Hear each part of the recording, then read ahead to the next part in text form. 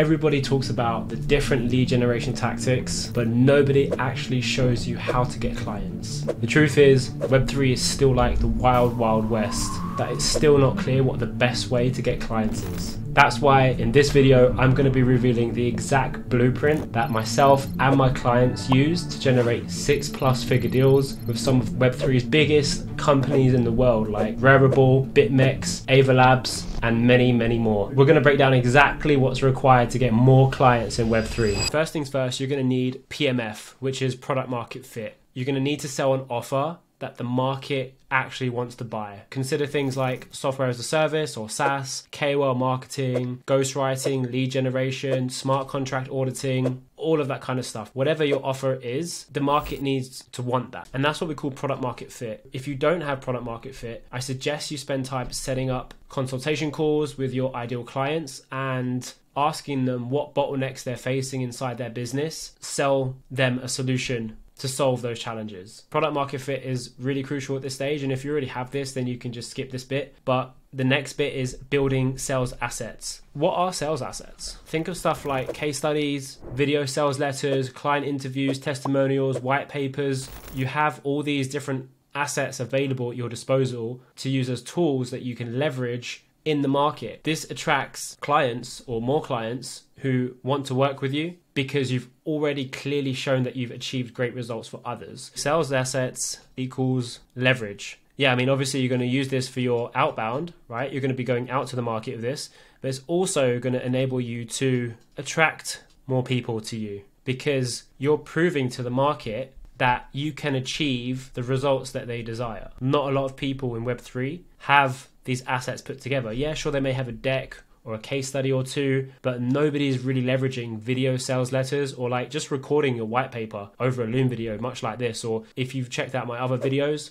I've got my own thesis there, basically recorded a white paper on how client acquisition or cold outreach works in Web3 so you can get more clients. That is a perfect example of a video sales letter, and that framework has helped me close tons of deals. With that said, client interviews are also very very powerful. And if you can get someone who you've helped before achieve a really good result and get that client of yours on an interview with you and then post it on YouTube and then use it in your outreach campaigns and send it to prospects that may have been ghosting you or just in any scenario really just proves and confirms that you are good at what you do and you've helped others do the same thing. You can paste it all over your website or your funnel. The sales asset should do a lot of the heavy lifting for you so that when the prospect comes onto the call with you or discovery call for example example, they're 80% of the way there. They just probably have a couple of questions, some things bugging them that they really need the answer to, and then it just makes the close so much easier for you. Definitely recommend looking into VSLs, building them out, case studies, just putting together all your best work and interviews, what their before scenario was before working with you, and what their after scenario was working with you, and what kind of results they generated, and if they would recommend you. That's literally all they need to say on the client interview. You can ask them more questions and how cool it is to work with you and stuff like that. And then you can just send that to future prospects that you're trying to get deals closed with. After all, you've got these bits and pieces like set up, you've got product market fit, so you've got sales assets, you've built your VSL, your case study, you've got some interviews put together, video sales letter as well just beforehand is just like all your life's work and all your results put together. And like the old way that your prospects are trying to do things compared to the new way of doing things which is your mechanism or your method of doing things that makes it superior. And if your prospects don't do this thing or the market doesn't do this thing then they're going to get left behind and they're not going to be able to get all these great results that you're getting for your clients based on your mechanism. Tying these three together is like a powerful recipe for success and getting more deals in any market condition. Next thing is find leads that we can send all our cool stuff to. To do that, this platforms that I like to use are edgein.io and I mentioned this in a couple of other videos, but I use findemail.com and I also use LinkedIn Sales Navigator to scrape quality leads. Just before you kind of get into this whole client acquisition thing and getting more clients in Web3, I understand it's super exciting. You just need to realize that you need to be sending a fuckload of volume to get results. 10 DMs, 15 DMs is really, really not going to cut it. I speak and consult with a lot of Web3 company founders, business development guys at big firms on a daily basis. And the first thing I ask them is how much volume are you sending? How many DMs are you sending? How many emails are you sending? The typical answer I receive is like 15, 1 5 to 30 DMs per day to their target audience, to their market. But the volume simply isn't enough to generate calls at scale. For example, if you're sending 15 to 30 DMs per day, that's 105 DMs per week. That's 420 per month. It's only 5,000 DMs per year. The market is way bigger than that. And whoever's sending this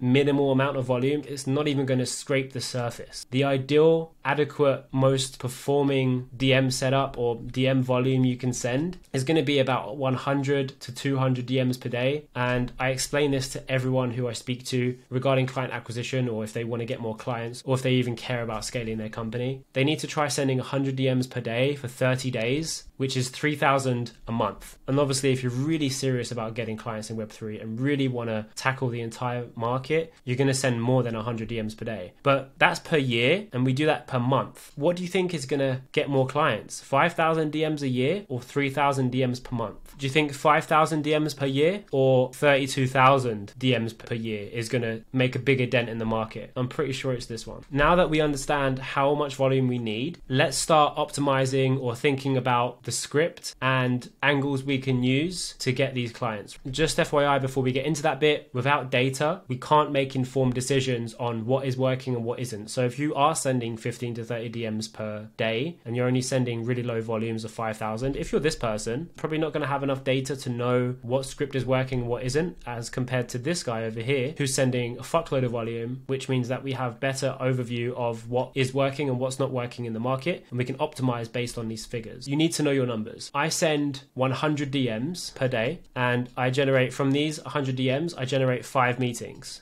and it takes me about 10 meetings to close two deals. 10 meetings equals two deals, which means I need to send 200 DMs to generate 10 meetings. And if I send 100 DMs, we're getting five meetings. I know that I have a 20% close ratio, so I know I need 10 meetings to close two deals. If I have five meetings, I'll close one deal. If I have 10 meetings, I'll close two deals. And then 200 DMs is 10 meetings. One close equals $10,000. Two closes is going to mean 20K. This will differ based on your offer and your sales process and your closing rate and how much volume you actually send. So you may need 20 meetings to close 10 deals. Really depends. But this is a really good example of the math and how it looks. To even get to that point, you need to write high converting messaging frameworks that target your ideal client's pain points. This is without coming across as spammy or desperate or needy. This is so that you look trustworthy and reliable instead. How do we write high performing cold messaging frameworks? Let's start with the subject line. Two that have really stood out for me. Subject line one is note for name, so note for Kai.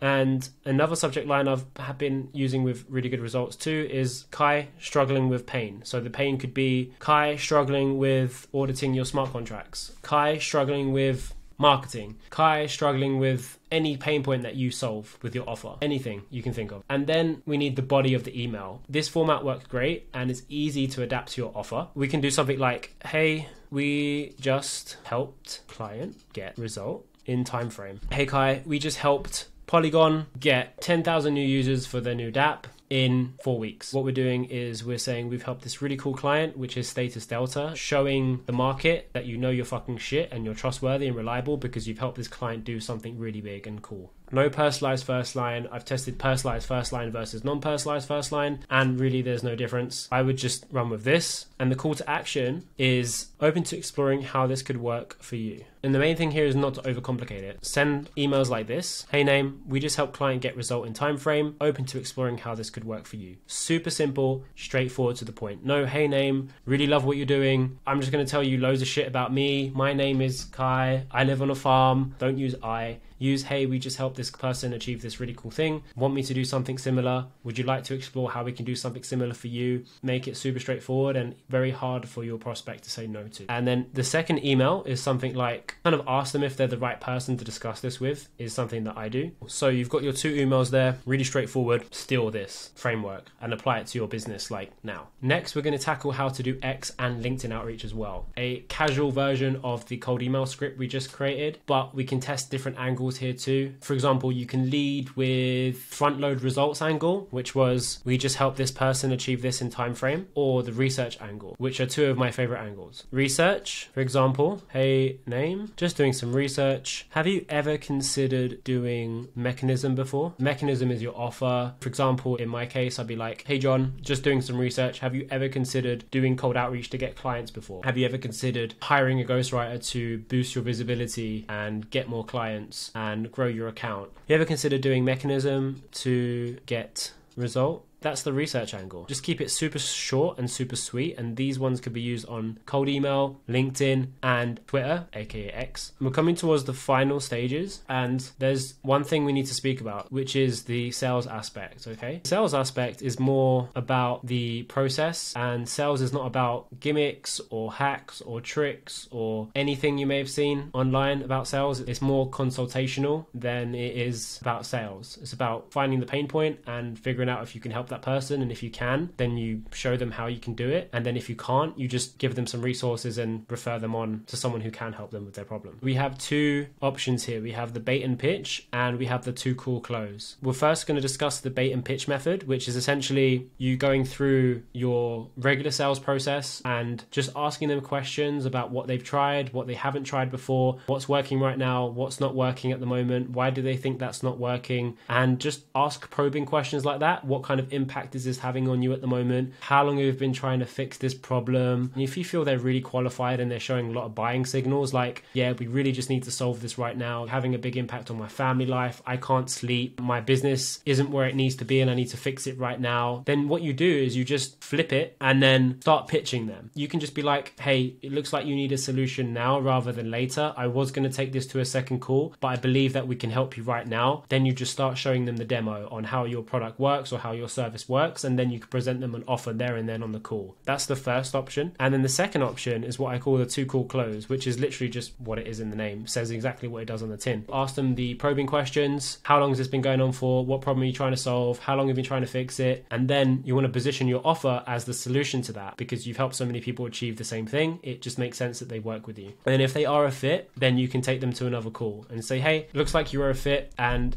I believe we can help you. What I'd like to do is book in a second call to show you how it all works, and obviously you can decide if it's for you. We will discuss next steps, which is working together. And then if it's not for you, then you can tell me there and then, and we'll work through it. Or you can simply tell me no, it's not for you. Does that sound fair? Proceed to book in a second call there and then, and make sure that any other decision makers that need to make a decision are there on the second call. You just say something like, "Is everyone who cares about solving this problem available to be on the next call?" And if they're not, then only book that second call if that person's going to be there because you don't really want people going back and saying, oh, I need to speak to this person, I need to speak to that person. No, you just need everyone who can make a decision on that second call with you. It makes it so much easier for yourself and you're just not chasing people and it just longs out the entire sales process. And then that becomes pretty straightforward and it's two call close. Probe if it's a fit, demo, which is the second part of the two call close. If no fit, disqualify them or refer them to someone who can help them. Maybe someone in your network, maybe you can have a, like a little finder's fee or a commission. If I can't help someone for whatever reason, I'll just refer them to someone I know who can, who's got a really good reputation in the space because their reputation is yours because you're referring someone. And that was the last step. Of course, you can take this video and apply it to your business, but there are a ton of nuances when it comes to getting more clients in Web3. And especially when it comes to writing the cold email scripts, setting up the cold email campaigns, writing your video sales letter, creating all the sales assets, training, hiring, running the LinkedIn automation campaigns, running the Twitter automation campaigns, operations, and all those other headaches that come with it that are going to be frustrating to overcome. And to be truthfully honest with you, the amount of actual work required to set all this up can be overwhelming and make your success difficult. If you want me to show you exactly how you can set up all of that,